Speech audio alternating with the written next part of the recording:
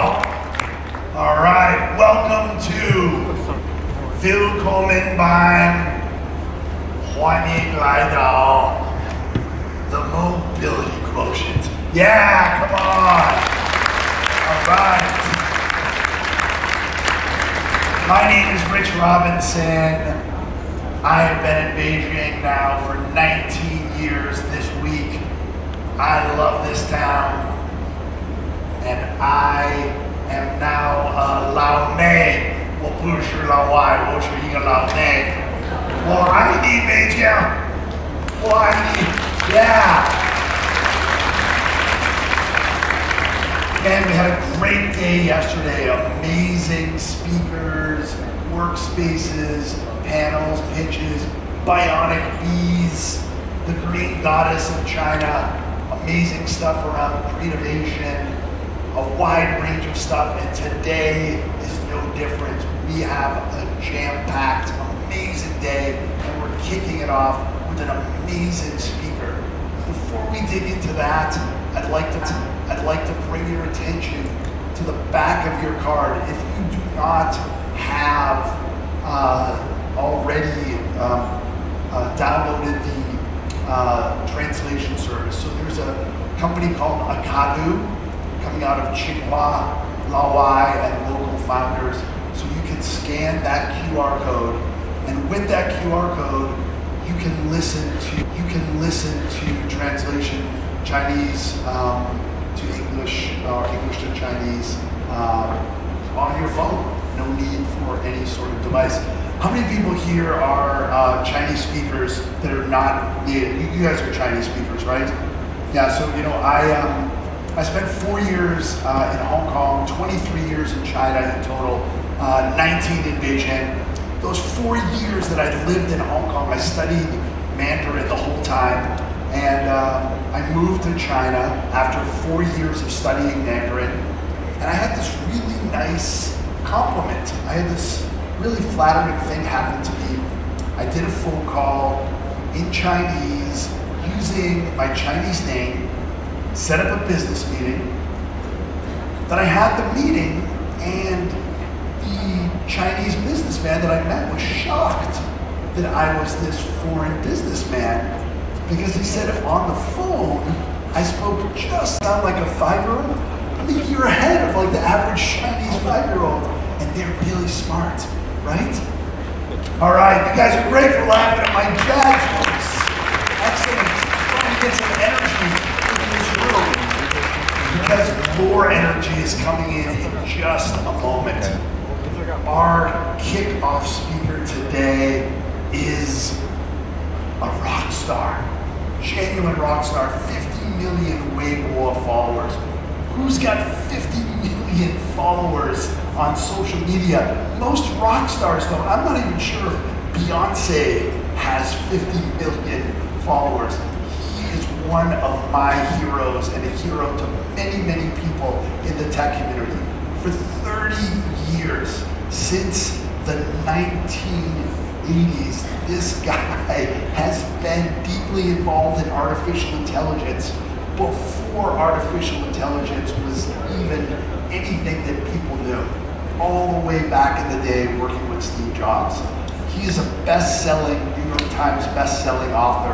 I loved his book. It's called AI Weilai. In Chinese, it's called AI Superpowers. Fantastic book.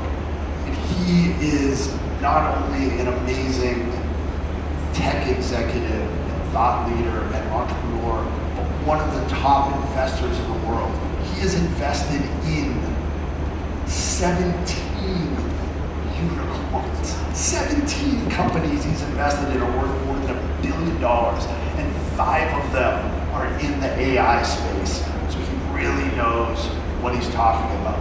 Please help me putting your hands together, giving a very warm Beijing MQ welcome to Dr. Kai-Fu everybody. Thank you very much.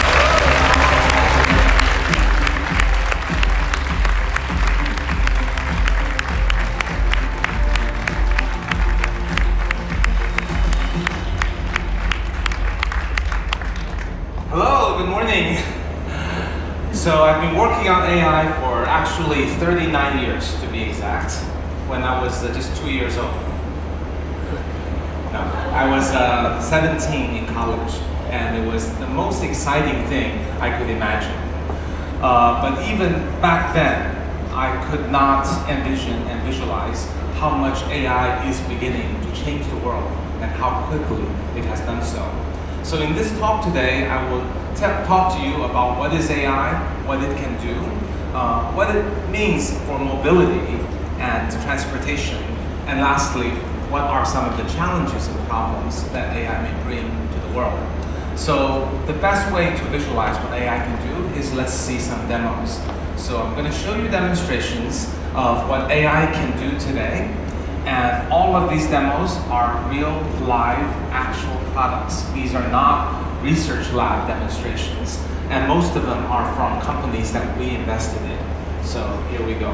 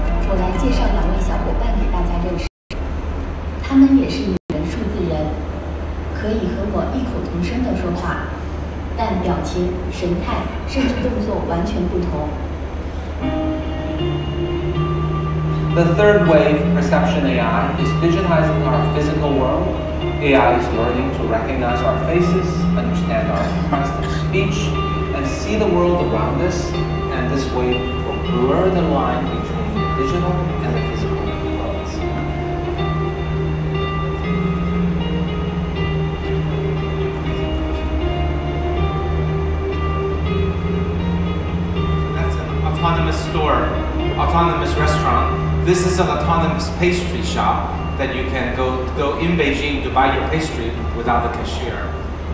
原拜山丘. Autonomous AI will come in the form of autonomously moving, self-driving cars, swarms of drones, intelligent robots working in the factory or on the farm. Autonomous taxi in Guangzhou.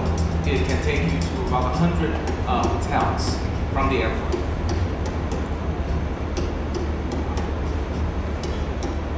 And this is autonomous truck and autonomous shuttle that's now operational in the Daxing airport.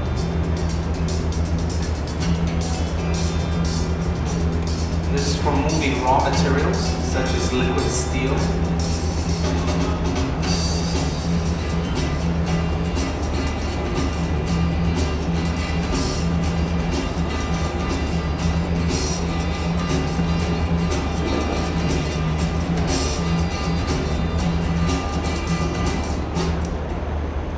So, impressed? Good?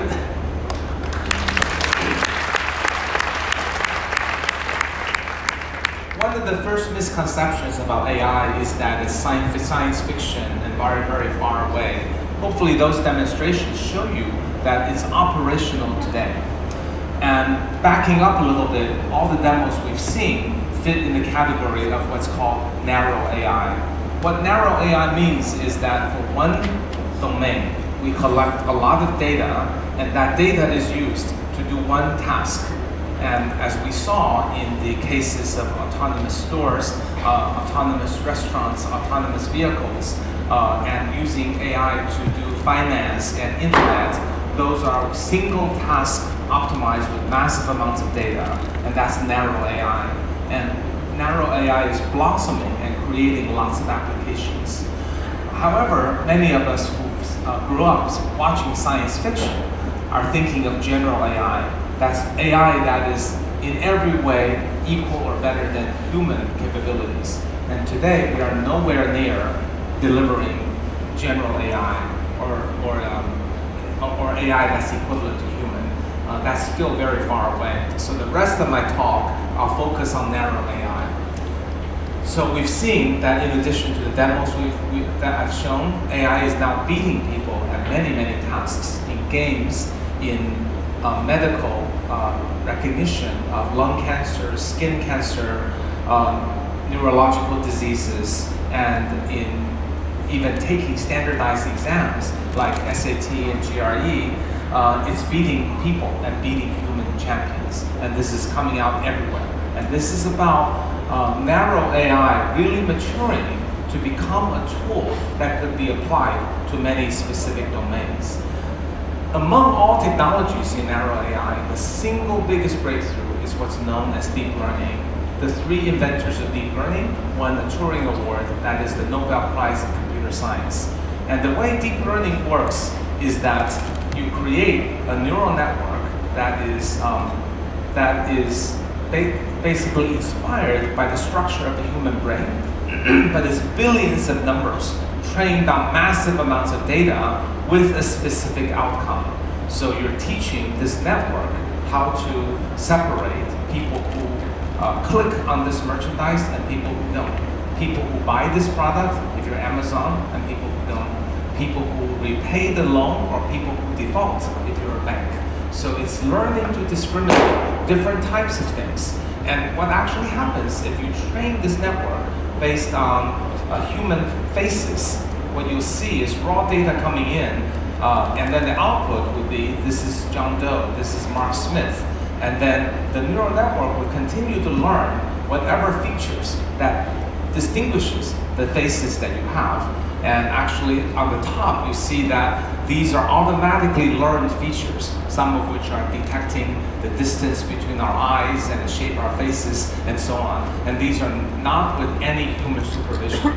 Many of us may think that AI is best taught with human telling the machine how to do something, but that has been proven to not work. The way that deep learning or AI works is you want to minimally tell it knowledge. You just present a lot of data with a ground truth and it learns from the truth directly.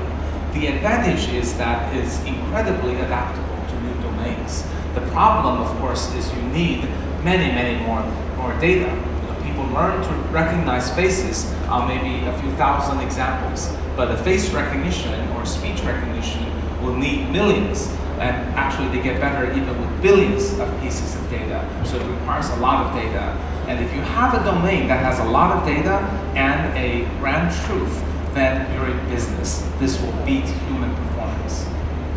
So an example to illustrate, if we collected a lot of data on something, in this case, um, speeches by President Trump, and then it can learn to talk like President Trump. It's a great thing to build a better world with artificial intelligence synthesize and listen to the next.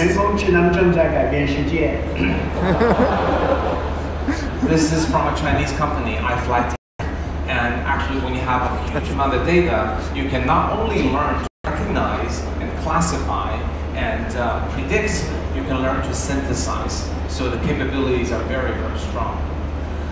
And in my book, AI Superpowers, and also you saw in the video, we divided AI into four sections. So given what I've described, that AI works by taking a huge amount of data, connecting it to a ground truth outcome.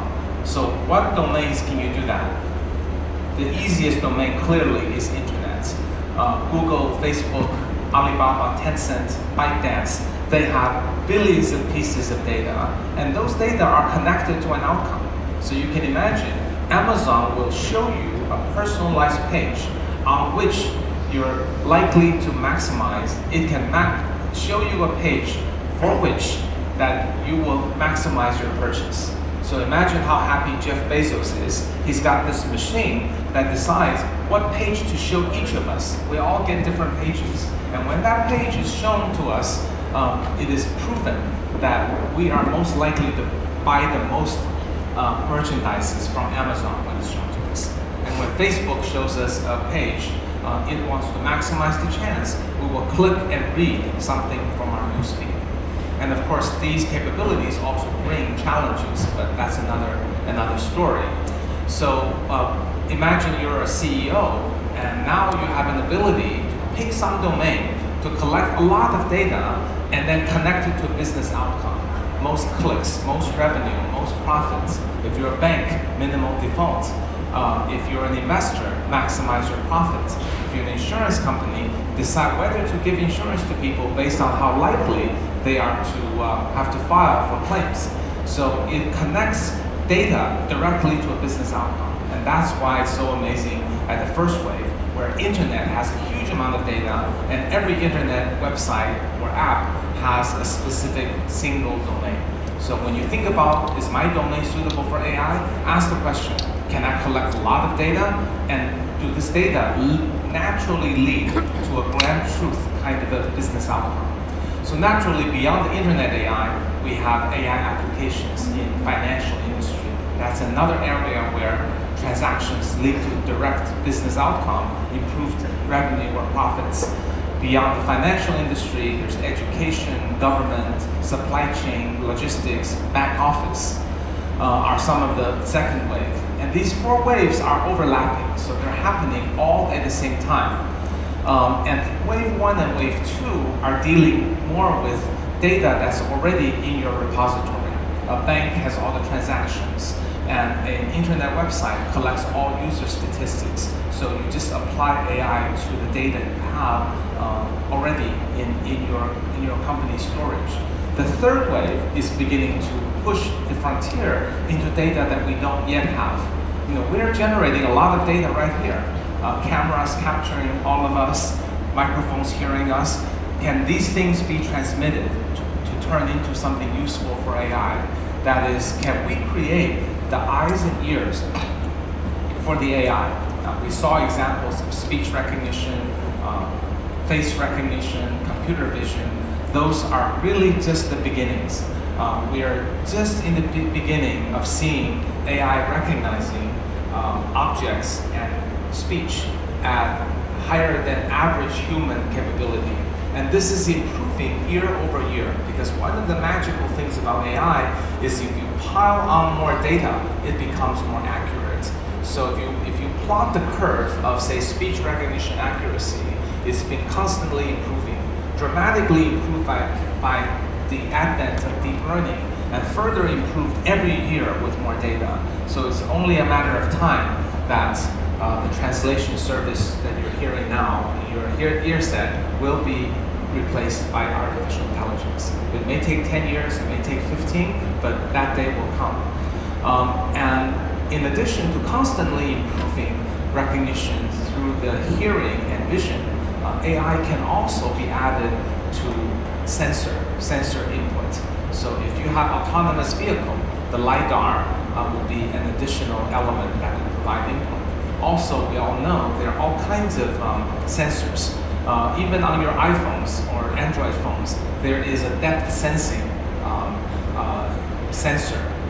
If you, if you try to unlock your iPhone when the room is dark, it still does that. How does it do that when it can't hardly see your face? It didn't turn on the flashlight or anything because it's actually projecting tiny little dots to your face and measuring the distance of each point on your face to the iPhone. And so, so it's reconstructing your face in the dark.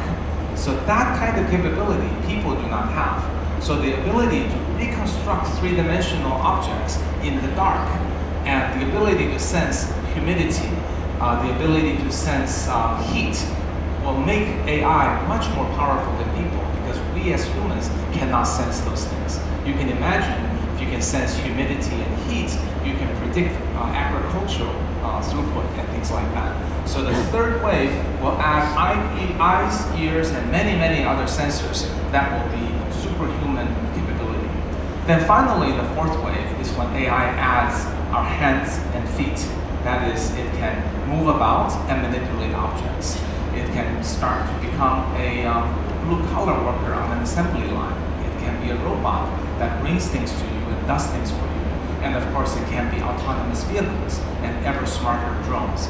So the fourth wave is one um, that will dramatically change, change the world as AI uh, advances itself to not only being an observer and recognizer, predictor, but also something that moves around very close to science fiction.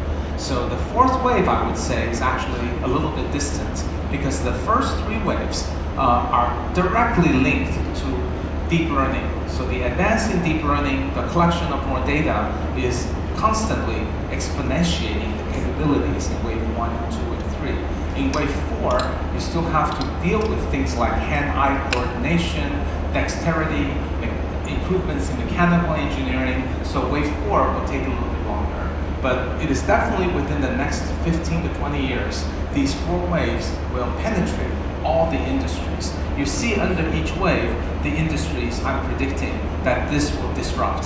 And they essentially add up to 95% of our GDP. So there's no doubt that in the next 15 to 20 years, AI will be everywhere. Now back to the subject of mobility, uh, the subject of this conference. One of the big problems we see is that in many of the urban areas, the traffic congestion is a huge problem. We, we see that in Beijing, we see that in New York. Um, we spend a lot of time and waste a lot of time on the road. This is exacerbated by the fact that uh, a lot of the world is moving to urban um, environments and more people going into large cities will exacerbate the problem and create even more traffic and more energy issues and more environmental issues that uh, will challenge us. Uh, and if we look at today, uh, a car is actually parked 96% of the time, not terribly well utilized, and is only actually delivering its purpose to us as car owners 3% of the time when we're driving. 0.5% looking for parking, and 0.5% stuck in traffic. So, so the car as a great product that's changed humanity is not very efficient in its use. So what technologies can be used to, to bring about changes? Um, I think the three big changes that will come about in the next 20 years are uh, ride sharing, Uber, Didi, uh, electrical vehicles that is much greener energy and uh, uh, that we have to deal with battery issues and make sure that um, uh, it is continues to be green and sufficiently charged for our use. Um, both of these are mature technologies, getting better. And then thirdly, uh, autonomous driving. And autonomous driving is the big next breakthrough. And I'll talk more about autonomous driving uh, going forward. When these three things start to work together, really magic starts to happen. Um, we can envision that in the future, uh, all the data that's gathered by each driver uh, will be collected centrally that can help city planning. We can envision that mobility starts to be more of a service. It's not just a matter of getting a shared vehicle or a Didi to come to you. Um, there will be one day when uh, my calendar will be very specific of where I want to be. And I will be able to speak to an agent, uh, an AI agent that says, plan my trip to New York. And it will figure out as a mobility as a service, uh, what airplane ticket, what car ride, where I need to be at which time, and uh, whenever I need a car, just in time, the kind of car I like, the level of price I'm willing to pay, will bring a car to me to just bring me to the place I need to go. And that car will be electrical, the car will be autonomous, and think about other implications when that day starts to happen. The car no longer needs to be shaped the way it is today. If the car is only taking one person, the car only needs to be large enough for one person. So further sa saving uh, a cost in building the car. And not only is the car cheaper, it's smaller, consumes less energy, the roads could be different. Why should the roads provide space for a truck when it can have some lanes that are very small? As cars start to become autonomous, that is truly fully autonomous at L5 level of capability. Uh, L is a level of how autonomous vehicles are. Uh, L1 is basically simply assisting us while we humans are fully in charge of driving uh, L2 and L3, they start to do some functions, such as parking uh, for us. Then L4 is the machine can largely drive by itself, but human still needs to be alert and jump in. L5 is when the steering wheel, the brake, and the accelerator are removed, and the car is just for the passenger. Okay, so when L5 happens, I've talked about how it will just in time take you to the place you need to go, but further than that, the car will become a part of your entertainment and workspace. You'll be in the car uh, watching movies, uh, conferencing with friends. You don't have to be driving anymore, nor does there have to be a dri driver for you. So the total amount of human time that will be saved is on the order of 9% of total human time on Earth. Because every time we travel on a bus, on a truck, on, on a train, in a car, um, the driver will be gone, whether it's us or the driver. So that's a huge savings uh, to humanity. It will also have tremendous capability because once more and more cars are autonomous, they will be able to talk to each other. So imagine this car is not just driving like a human, um, but cars can talk to each other to minimize danger. Uh, so one car can tell other cars around it, I just blew a tire, be careful, okay? And also, uh, if I'm in a hurry to get to work, I can tell my car to send a message to all nearby cars, get out of my way, I'll give you 10, 10 cents, okay? So those kind of capabilities start to happen to bring further more and more safety. And this kind of autonomous mobility as a service will further bring about uh, tr tremendous uh, savings for all of us, not just in money, energy, environment, but also saving lives. Because just like all AI, the more data we gather, the more capable autonomous vehicle. So when the autonomous vehicle, let's say at L5 level, is finally launched, let's say in 15 years or 10 years, in the beginning, uh, we, we have to be very conscientious when we build autonomous vehicle. When we launch, we have to make sure it's better than people. So maybe 1.3 million goes down to 1 million in the year of the launch. But in three years, the 1 million could go down to half a million. In 10 years, it could go down to 10,000. And eventually, almost no people will die from human uh, accident because the cars are watching and learning by aggregating the data. This is not science fiction. Um, one of the coolest features launched was Tesla's summoning feature. Um, it's an Audi conference, maybe I shouldn't be mentioning another brand. but the feature is very cool. What it is, is uh, when you take a car, go shopping, and then you want to, you forget where your car is parked. So you're at the edge of the shopping mall and you summon your car, and your car will drive by itself and come to you. It's a very clever application because it doesn't require going on highways. It's from parking lot to the side of a mall. It's very convenient. But the interesting thing was when that product was launched, it wasn't very good. People were posting videos on YouTube saying, oh, this is how silly, this is how dumb, it's very slow. But then, within a few days, uh, a million people used the feature and the data was used to retrain the AI and it got a lot better. So that should point the way to the future that we can anticipate in the future as we gather more data, the casualties will go down every year as the cars drive by itself. So here are some examples of investments that we made um, at uh, Sinovation. This is a company called Momenta. Uh, you can see this is a fully autonomous driving with a safety driver.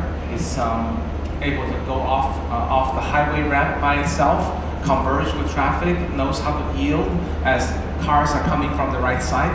So basically at human level capabilities.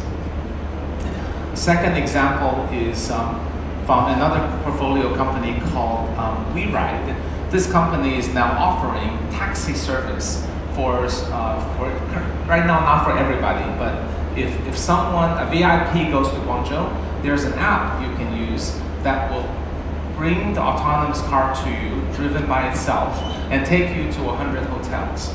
It doesn't go to any place, but you can imagine going from the airport to 100 top hotels, that's a fixed route, so it's quite doable.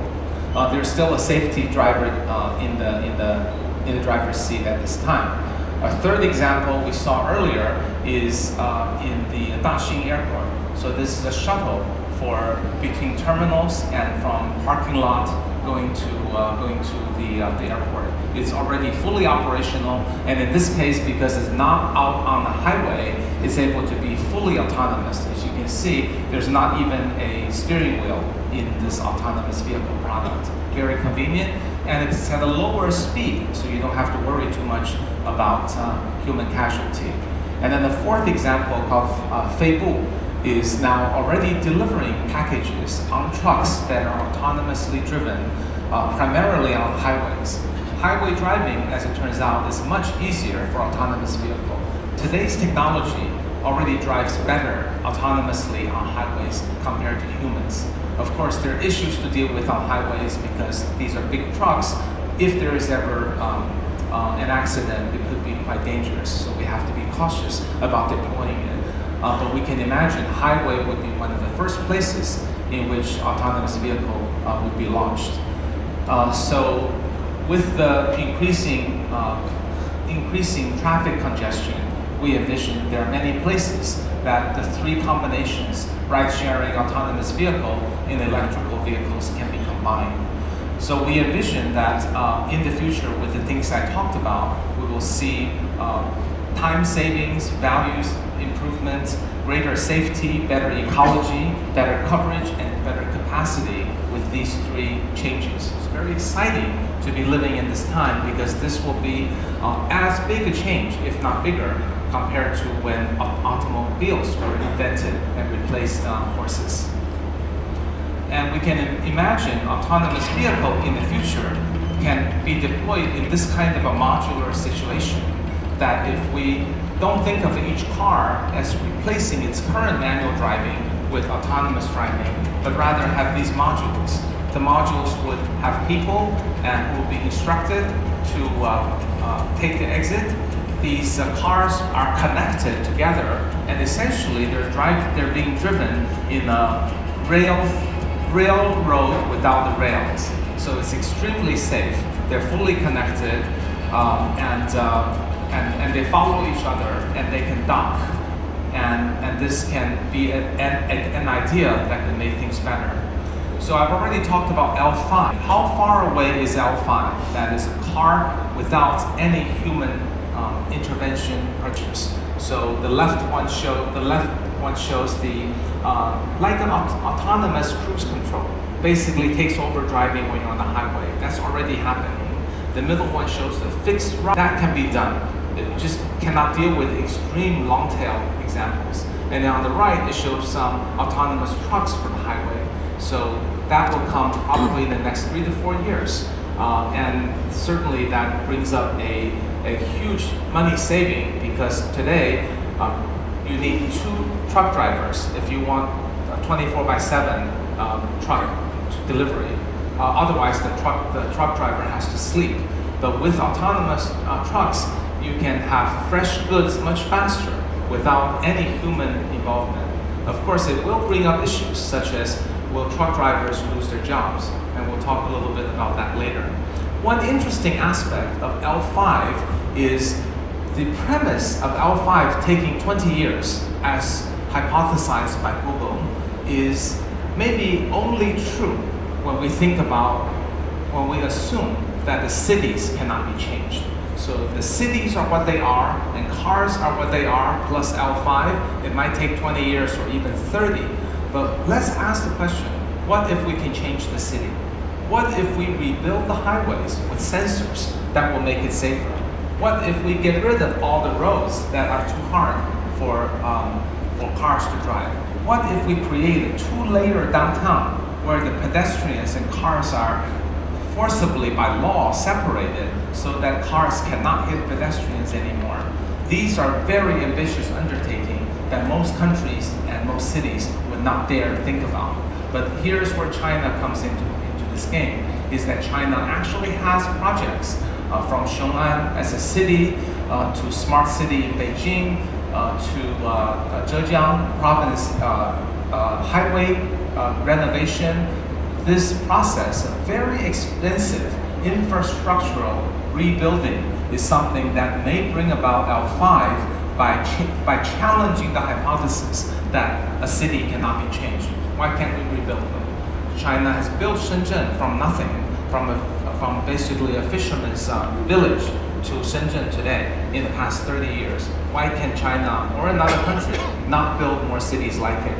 And once this is demonstrated with efficacy, more countries can follow suit. So this is an opportunity, we think, that can accelerate L5 without waiting the full 20 years. Here are some other concept demos of what uh, autonomous vehicles can bring about. Here is an example of a deep, lower down level where the car is autonomously driven in, a, in the cradle. So again, extremely safe. It's like driving in on a train or, or uh, in a tunnel with rails. So 100% safe solution that could be built as another form of infrastructure. And uh, another example, a concept demo by Uber, shows that future of um, uh, helicopters and drones. This is autonomously driven drone that can carry a human and it can uh, basically navigate the airspace. It turns out uh, flying is easier than driving because for driving, we're basically on a two-dimensional road and cars will have to run into each other. When you're flying, uh, you can avoid each other by flying a little bit higher or a little bit lower and, and, the, and planes can be very precise about their three-dimensional axis. And of course, we've seen the space